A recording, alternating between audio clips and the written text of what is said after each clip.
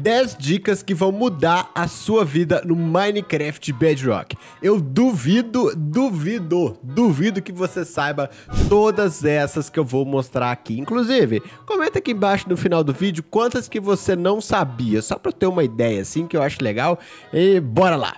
Mas antes de continuar esse vídeo, eu tenho um convite rápido para te fazer, eu juro bem rapidinho que não pula essa parte do vídeo. Venha fazer parte da maior comunidade Minecraft Bedrock do YouTube, cara. Se inscreve aqui no canal e bora mostrar a nossa força, porque juntos nós vamos conquistar esse YouTube e mostrar que o Minecraft Bedrock é tão legal quanto Java. Na verdade, o Minecraft Bedrock é um jogo completamente diferente e que você tem que aprender as coisas boas e as coisas ruins, assim como o Java também tem as coisas boas e as coisas ruins. E lembrando você também que todo dia aqui no canal, às 9 horas da manhã, tem vídeo de novidades, curiosidades, redstone, tutorial, tudo, tudo, tudo, tudo, tudo. Então se inscreve aqui e vem fazer parte, afinal, para ter um dia nota mil, é só com o vídeo do tio. E caso você queira ganhar um Minecraft Bedrock, dá assistida no vídeo daqui na descrição, beleza?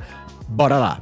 Iniciar um jogo pode ser um pouco complicado, né? Principalmente quando você não encontra ovelhas e quando você encontra, elas não estão com a mesma cor. E vocês estão ouvindo esse barulho? É minha cachorrinha brincando, então não liga. Bora lá, Cabê, coloca a foto dela aí pra galera se apaixonar. É claro, né? A primeira coisa que você vai fazer é procurar comida, pegar madeira, esse tipo de coisa assim, mas na verdade uma das primeiras coisas que você deveria fazer é encontrar ovelhas, cara, e matar essas ovelhas para você conseguir aí a sua cama. Só que nem sempre no começo do jogo você vai conseguir ovelhas com a mesma cor, cara. Aqui a gente conseguiu duas, olha só isso aqui, cara, duas brancas, mas cadê a outra? Não sei, cara, só consigo ver uma vermelha ali na frente.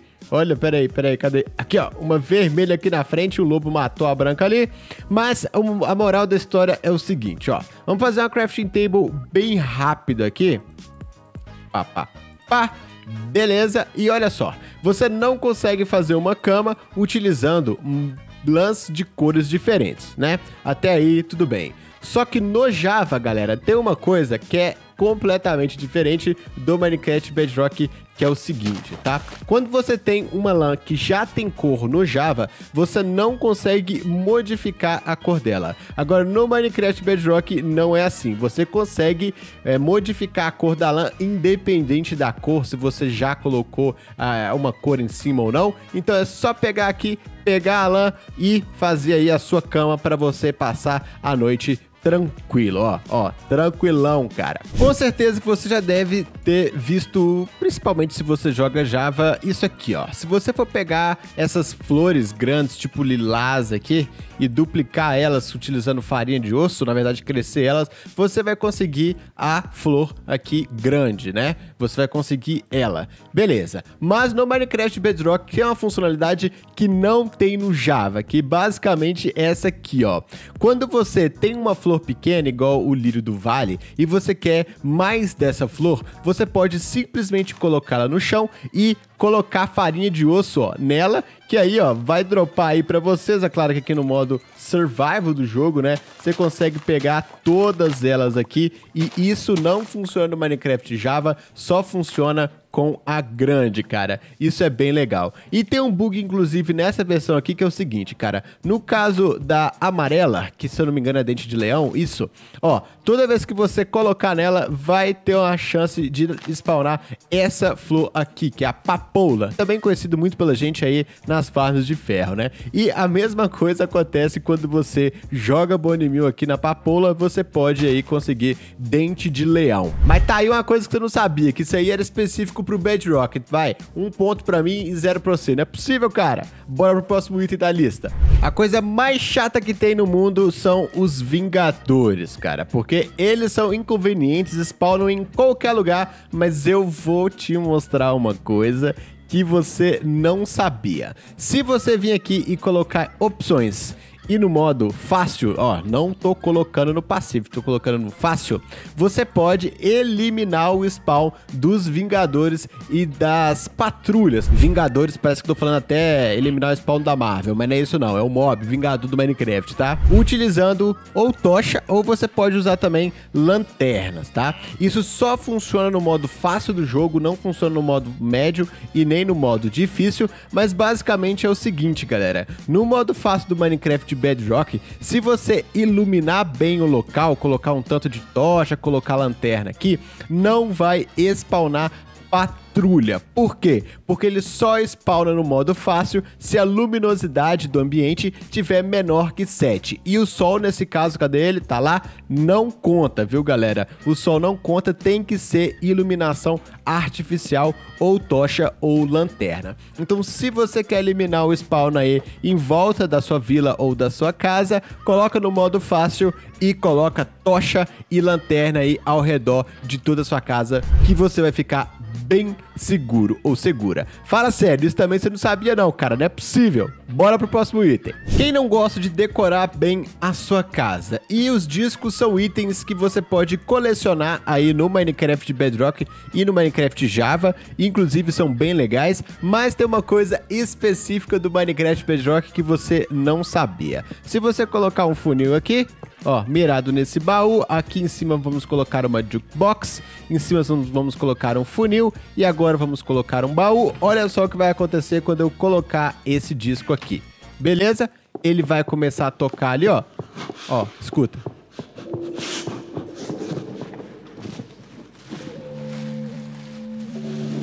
Ai, meu Deus.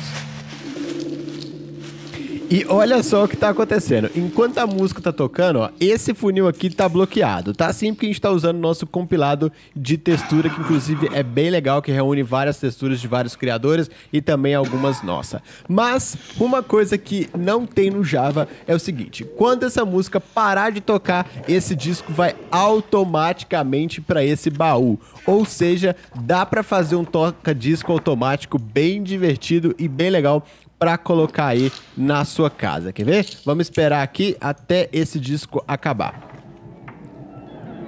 Beleza? Já desbloqueou ali e o disco caiu aqui no baú, igual eu disse pra vocês, tá vendo? E já que a gente tá aqui, eu acho que vale a pena mostrar um outro item dessa lista que tava lá na frente, mas eu vou adiantar. Basicamente, o compostador é um item muito bom, porque através dele a gente pode, por exemplo, fazer farelo de osso, uma farm automática renovável de farelo de osso. Só que poucas pessoas te avisaram é que você consegue utilizar, inclusive, o bloco de grama para gerar farelo de osso, tá? Vai que você tem que destruir uma área muito grande aí, você tem um tanto de bloco de grama porque sua ferramenta tem o toque suave e você não vai utilizá-las para nada. Bom, coloca um funil aqui em cima, coloca um baú aqui embaixo, aqui ó, bem simplesinho mostrar para vocês. Aqui ó, funil, baú, compostador e pronto, cara, ó. Vai aqui, ó. Vai aqui ser feliz aqui, ó, co colecionando todos os seus farelos de osso ou farinha de osso, dependendo da versão que você joga, beleza? Eu aposto que não sabia que a grama dava pra colocar ali dentro também, ó. 1x0 pra mim, 1 não, né? Deve estar tá, o quê? Uns 4, 5x0 pra mim. Comenta aqui embaixo. Sabe aquelas propagandas de produto terapêutico e tal, umas paradas cabulosas assim? E eu não tô entendendo muito bem porque que eu tô falando isso, mas eu vou continuar assim mesmo. O próximo item tem a ver com as propriedades cabulosas da farinha de osso aqui no Minecraft Bedrock. A cana de açúcar no Minecraft Java, você não consegue utilizar aqui, ó, a farinha de osso para ela crescer. Mas no Minecraft Bedrock, toda vez que você usar, ela vai crescer aqui mais duas canas de açúcar. Então você pode criar uma farm completamente automática utilizando a farinha de osso, ou se você precisar de muita cana rápido, bom, é só fazer uma farmzinha rapidinha de farinha de osso e colocar aqui para crescer. Bom, é lógico que você pode sempre fazer a farm zero tick de cana, mas quando ela parar de funcionar, isso aqui vai ser mais útil, mas mesmo assim vai, vai. Sério que você sabia que no Java isso não funcionava e aqui sempre cresce 3? Eu acho que não, né? Estamos aqui com um tridente com canalização 1 e para você que não sabe o que, o que isso faz, é o seguinte, eu pegar um creeper ali e toda vez que tiver chovendo com relâmpagos e eu acertar um creeper, vai transformar em Charger Creeper. Mas tem uma funcionalidade que veio de um bug, já tá no jogo há muito tempo, então acho que a Mojang não vai retirar mais no Minecraft Bedrock, é que sempre que o Creeper explode um Nômade, que é encontrado naqueles biomas de gelo, por exemplo, olha só o que vai acontecer, cara. Pera aí, não foge não, explode aí, só spawnar mais uns aqui, Beleza, explodiu. E olha só o que dropou ali embaixo, galera. Toda vez que um Charger Creeper explodir um Nômade, vai dropar pra gente um crânio de esqueleto de Wither. Isso funciona, lógico, também no Survival. Inclusive, já fiz uma farm disso aqui no canal. Mas é uma dica bem útil caso você esteja com preguiça de ir lá no Nether para conseguir aí as suas cabeças de Wither. Tchau. Droparam mais 3, 1, 2, 3, 4, 5, 6, 7. Cara, isso aqui é muito bom, cara. Esse bug é muito bom. Mojang, nunca tire esse bug do jogo, que esse bug é bom, hein? Tá, eu aceito que esse era mais comum e que provavelmente você já sabia, mas o próximo, cara, o próximo. Sabe aquele papo de cultura inútil? Pois é, esse item aqui é exatamente isso. Serve pra alguma coisa? Não. Você sabia? Também não. E é curioso, olha só. Basicamente, no Minecraft Bedrock, você sabia que o tijolo do Nether pode ser utilizado como combustível? É lógico que é o pior combustível do planeta, queima na velocidade. Olha, para queimar um item, eu acho que a gente vai precisar aí de cerca de 10 tijolos do Nether. Não serve para nada e não funciona aqui com o tijolo é, o bloco de tijolo, tá? Não adianta testar que não funciona. Se a gente colocar aqui, olha lá, nem coloca, não funciona. Mas fala sério, cara, é muito bizarro. Por que, que a Mojang colocou esse negócio de utilizar tijolo do Nether para aquecer item? sendo que no Nether a gente pode conseguir carvão que é muito mais eficiente. E eu tenho uma pergunta para você, em quais condições você utilizaria o tijolo do Nether como combustível? Fala sério, não faz nenhum sentido, mas tá aí, eu duvido que você sabia dessa. E para falar em Nether, bora pra lá que o próximo item da lista está justamente lá. Bom, estamos aqui uma Bastion, uma estrutura inútil, não é mentira. Uma estrutura que é, é, mais ou menos útil, né? Deixa eu ver aqui. Ah, nada de útil aqui dentro, tá vendo? É inútil. Mas basicamente é o seguinte, você já deve saber que esse bichinho aqui, o Piglin, odeia os itens da alma. Ele morre de medo. Se você colocar aqui, ele vai sair.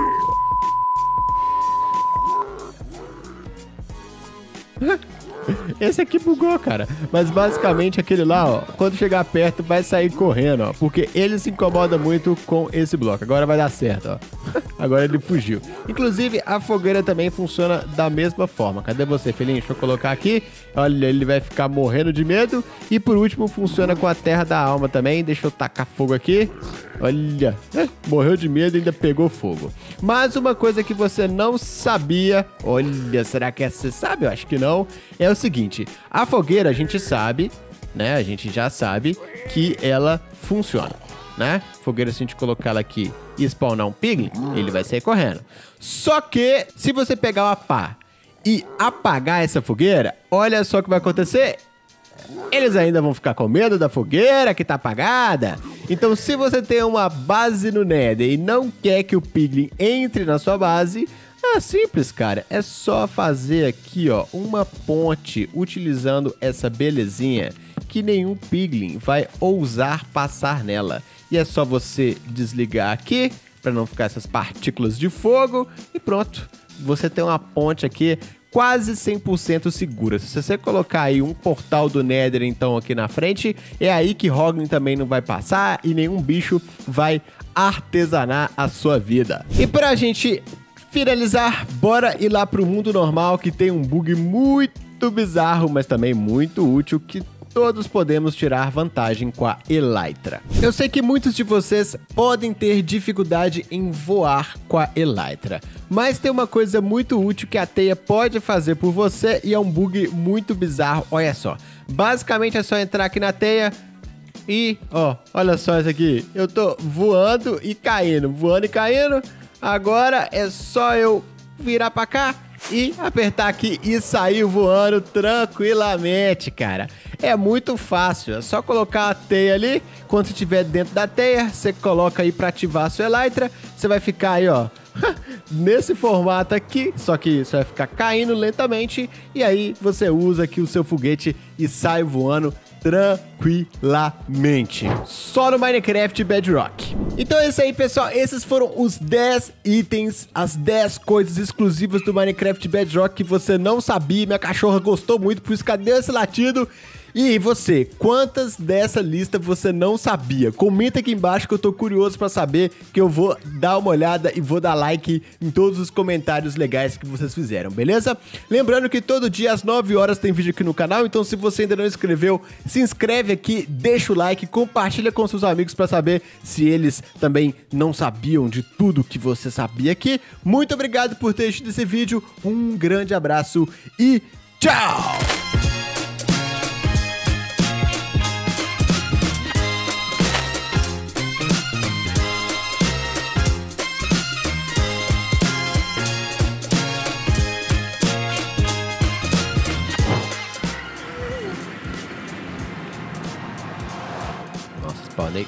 Logo aqui. Logo no único bioma que não spawna um mob que rapaz. After Credits, KB, After Credits. Em busca do Piglin, em busca do Priglin. Prig, prig, prig, prig.